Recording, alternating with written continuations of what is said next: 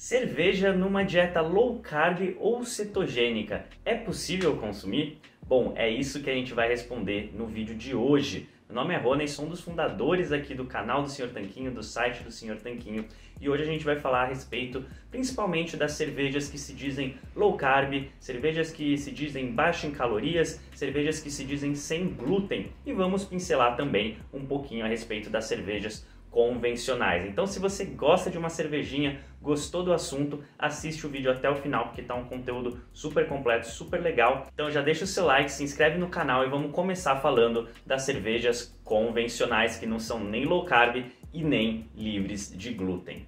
E a verdade é que existem diversos tipos de cervejas. Você já deve ter visto por aí cervejas mais claras, mais escuras, cervejas bem marrom, cervejas vermelhas, cervejas douradas, cervejas mais alcoólicas, menos alcoólicas, enfim, tem uma infinidade de tipos de cervejas. Todas elas têm como base água, malte, lúpulo e levedura que vai fermentar os carboidratos do malte, tá bom? Além disso, algumas delas levam também outros aditivos, como por exemplo arroz ou milho, que ajudam a dar volume e baratear a produção. Algumas podem levar aveia para deixar um pouco mais encorpada, outras podem levar alguns tipos de frutas ou especiarias para ajudar nos aromas e sabores, mas a gente não vai entrar nesse mérito aqui. No caso, a gente vai falar especialmente daquele tipo de cerveja que é o mais consumido no Brasil, que é conhecido como American Pale Lager e aqui no Brasil se popularizou como estilo Pilsen.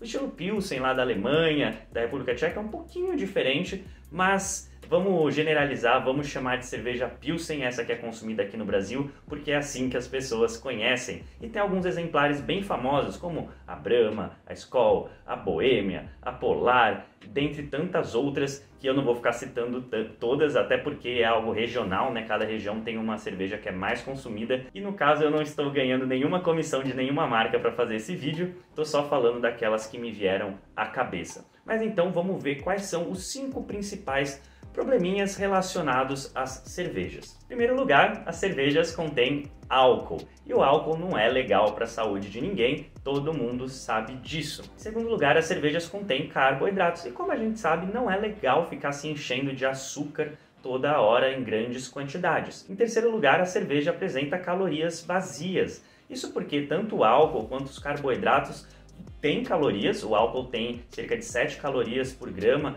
os carboidratos têm cerca de 4 calorias por grama, só que essas calorias, principalmente no caso da cerveja, são calorias sem nenhum tipo de nutriente junto e são calorias que não vão promover a saciedade. Então é por isso que a gente chama esse tipo de calorias de calorias vazias. Elas não vão te ajudar na nutrição nem na saciedade, mas podem te ajudar sim a ganhar uns quilinhos a mais se você exagerar. O quarto problema é que quando você passa de um certo ponto no consumo de álcool, isso pode te levar a decisões piores em várias áreas, inclusive no que diz respeito à alimentação. Então, se antes de beber você, por exemplo, estava resistindo facilmente a um pedaço de pizza, pode ser que depois de três latinhas de cerveja você já não resista mais a esse pedaço de pizza. Então, o álcool pode levar a piores decisões, inclusive na questão da alimentação. Em quinto lugar, a gente tem o glúten, que está presente nas cervejas convencionais e pode trazer diversos tipos de problemas em maior ou menor escala, dependendo do grau de sensibilidade de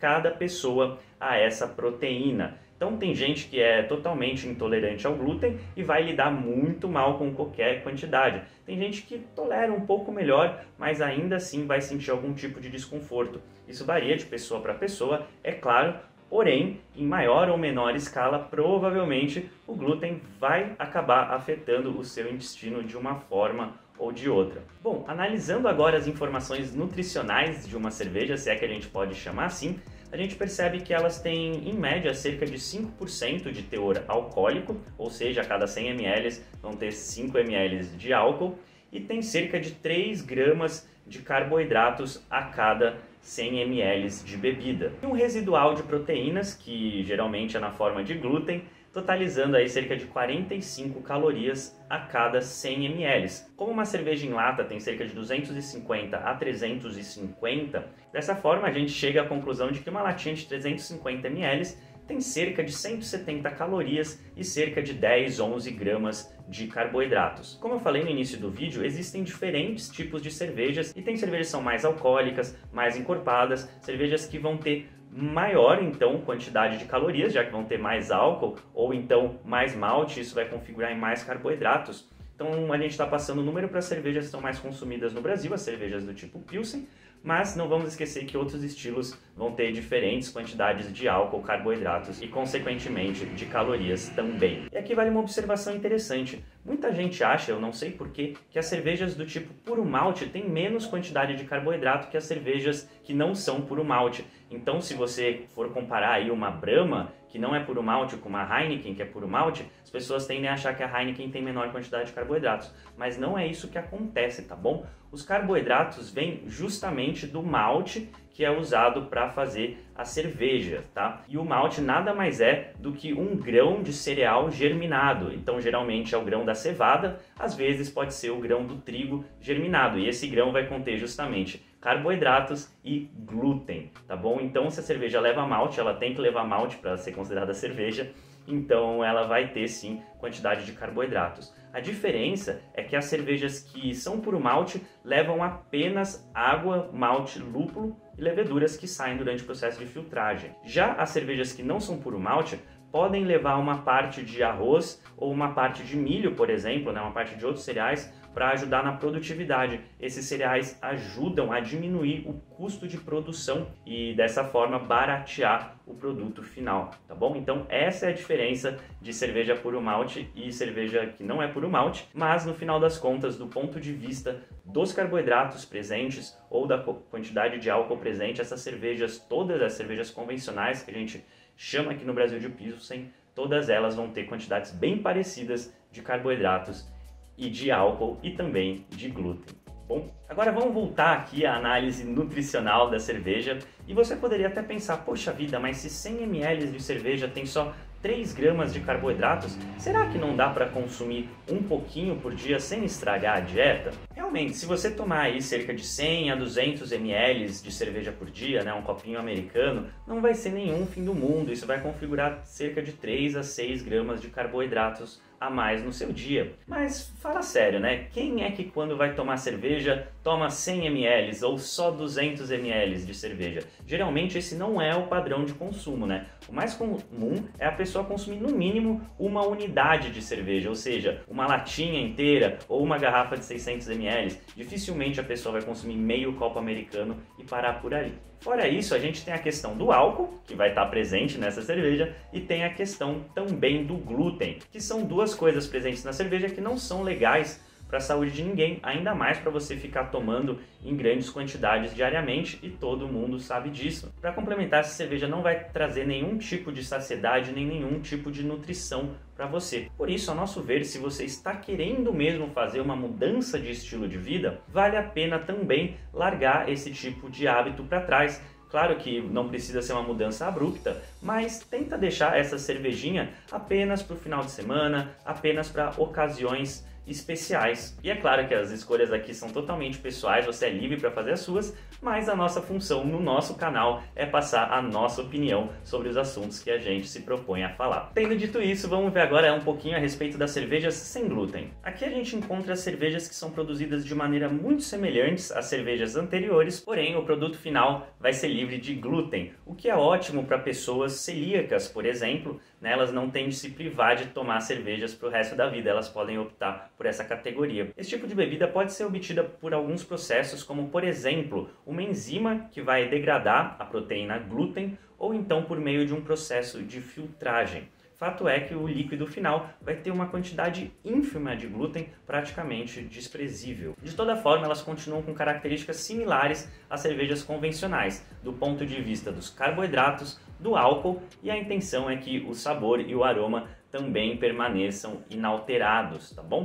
Claro que tem gente que vai tomar uma cerveja sem glúten, vai achar que não é tão gostosa, outra pessoa vai achar gostosa, mas enfim, isso é uma questão de gosto. E existem alguns exemplares que estão chegando no mercado. Um exemplar famoso é a Stella Artois sem glúten, que é muito similar à Stella Artois convencional, eu já provei, já conheço as duas e acho muito parecido, tá bom? Então se eu tiver que optar entre uma das duas em alguma situação, eu vou escolher a sem glúten porque ela é muito parecida do ponto de vista do sabor e do aroma, só que tem esse algo a mais que é não ter o glúten. Outros exemplares são a cerveja Lakeside, que é um pouquinho mais difícil de achar, mas também encontra-se, e a cerveja Farroupilha sem glúten, tá? São três exemplares que você pode procurar por aí. E claro, devem existir outros de cervejarias menores e a tendência é cada vez mais as cervejarias grandes também terem exemplares sem glúten para atingir todos os públicos. Porém, a observação é a quantidade de carboidratos vai ser igual, tá bom? A não ser que esteja escrito no rótulo que a cerveja é low carb ou reduzida em carboidratos, que é a próxima categoria que a gente vai ver. Finalmente, falando das cervejas low carb, cervejas pobres ou baixas em carboidratos. Essas sim vão ter uma quantidade de carboidratos reduzidas por porção em comparação com as cervejas convencionais. E existem algumas técnicas utilizadas para conseguir reduzir essa quantidade de carboidratos. Uma delas é deixar a cerveja fermentando por mais tempo.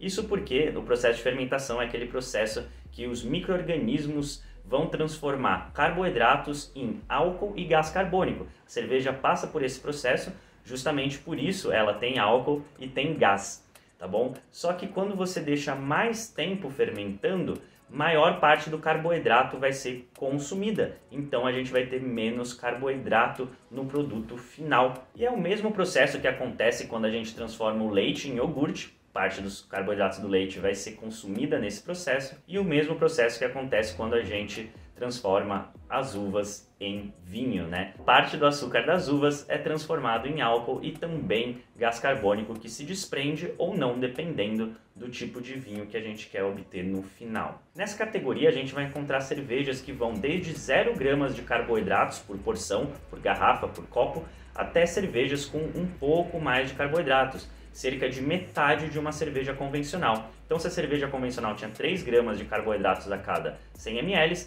uma cerveja low carb vai ter aí no máximo 1,5, né, 1 grama e meio de carboidratos a cada 100 ml. Então, perceba que a gente na pior das hipóteses, já está diminuindo pela metade a quantidade de carboidratos presentes na cerveja. Ainda terão algumas dessas cervejas low carb que também são sem glúten, então além da redução dos carboidratos, tem a redução da presença de glúten, então é uma categoria super interessante para quem está querendo evitar os carboidratos e querendo evitar o glúten. Porém, também devemos observar o seguinte, as cervejas vão continuar tendo álcool, por isso não é legal você ficar exagerando no seu consumo cervejas também vão ter calorias líquidas, tanto por conta do álcool que vai estar ali presente, quanto por conta do, dos carboidratos líquidos residuais, né? As que são zero carboidratos, claro, não vão ter calorias dos carboidratos, mas as que não são zero carboidratos terão. E a maioria delas ainda vai ter glúten, né? Algumas não tem, mas a maioria vai ter glúten sim, apesar de ser low carb. Uma coisa não implica na outra, né? E por fim, tem a questão de que nem todo mundo vai gostar do sabor das cervejas low carb. Pode ser que você goste até mais do que uma cerveja convencional, ainda mais se a gente estiver comparando uma cerveja convencional bem vagabunda, ainda mais porque tem cervejas low carb que são bem artesanais, bem gostosas, bem preparadas,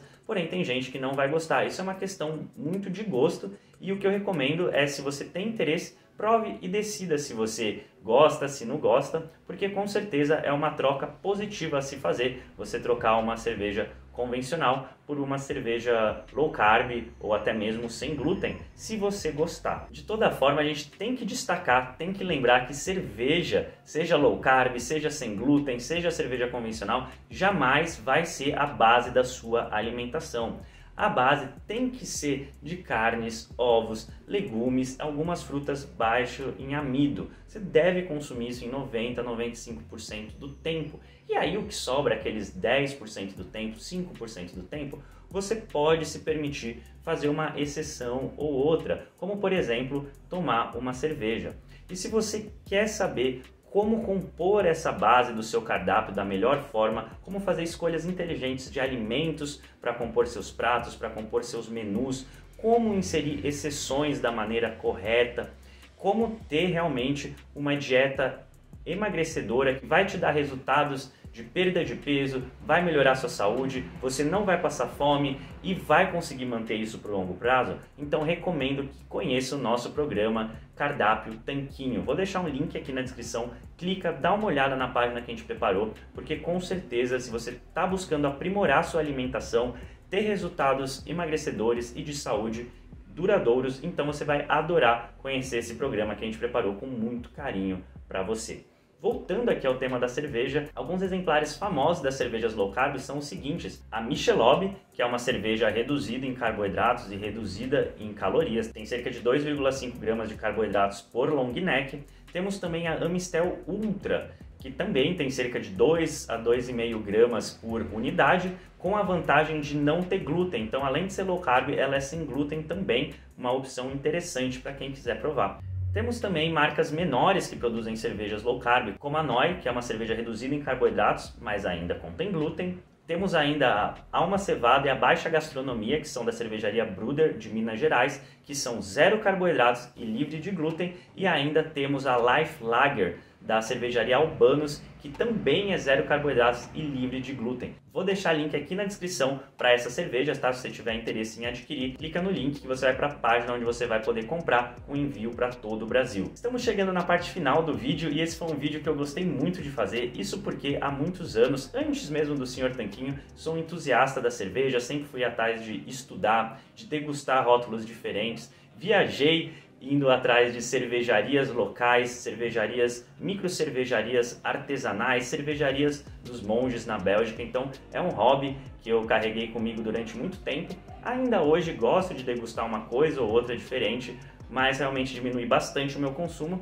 por conta da saúde, da alimentação. Então não é algo que figura em todos os dias da minha vida, muito pelo contrário, é algo bem pontual e quando eu vou tomar uma cerveja, eu escolho uma boa cerveja, uma cerveja de qualidade, uma cerveja que eu tenho muita expectativa ou que eu já conheço e sei que é muito boa.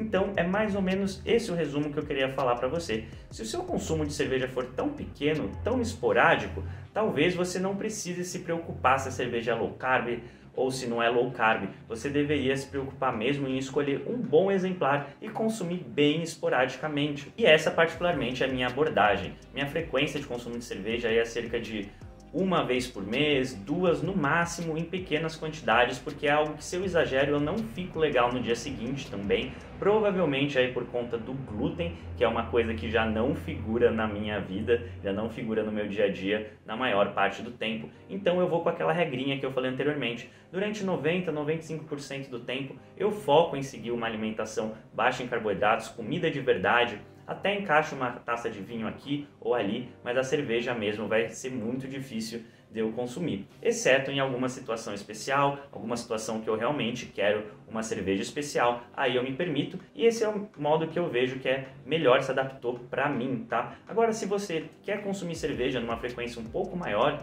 o que não é algo que a gente recomenda, mas como eu falei, é a vida de cada um, a escolha de cada um. Então, talvez seja uma opção para você optar por cervejas aí baixas em carboidratos e de preferência sem glúten. Pode ser uma alternativa para você testar e ver como são os seus resultados. Se você quer melhorar esses resultados, aumentar sua velocidade de emagrecimento, começar a emagrecer, estruturar uma dieta verdadeiramente low carb, saudável, que vai te proporcionar resultados, então recomendo que conheça o Guia Cardápio Tanquinho, tem link aqui na descrição. E como você viu, eu, na maior parte do tempo, prefiro consumir vinho quando vou consumir uma bebida alcoólica e é por isso que talvez esse vídeo aqui do lado que o Gui gravou para você, você goste muito, porque ele fala a respeito do consumo de vinho na dieta low carb e cetogênica. A gente se fala numa próxima. Um forte abraço!